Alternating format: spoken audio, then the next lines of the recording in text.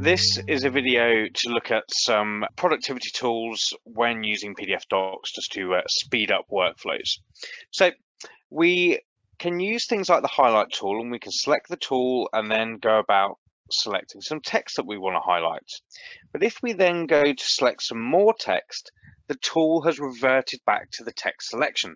That's because by default, it's a single use tool.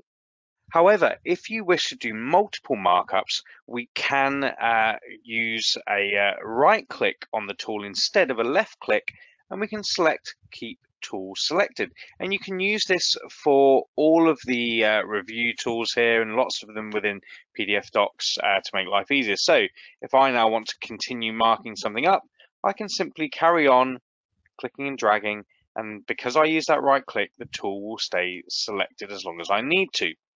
When I'm finished, I can just go about and select a different tool, or I can press the escape key and that will take it back to the standard text selector.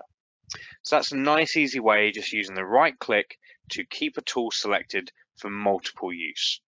Also, if you are finding that this is a workflow that you're doing uh, quite regularly, you can also add it to the quick access toolbar. So when we right click on the tool, Instead of hitting the Keep Highlight tool selected, we can hit the Add to Quick Access toolbar.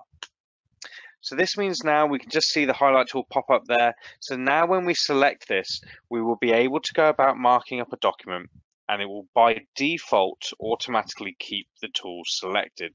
So this makes it nice and easy for us to go about marking up uh, multiple uh, parts of the document. And then again, I can then uh, press the escape key to get out of it or go and select the next tool. But that means just by using the quick access, I can just click up there rather than having to always do the uh, right click. So again, just a couple of ways to uh, speed up workflows depending on how you need to mark up a document. Okay, I hope that was useful. Thanks for your time.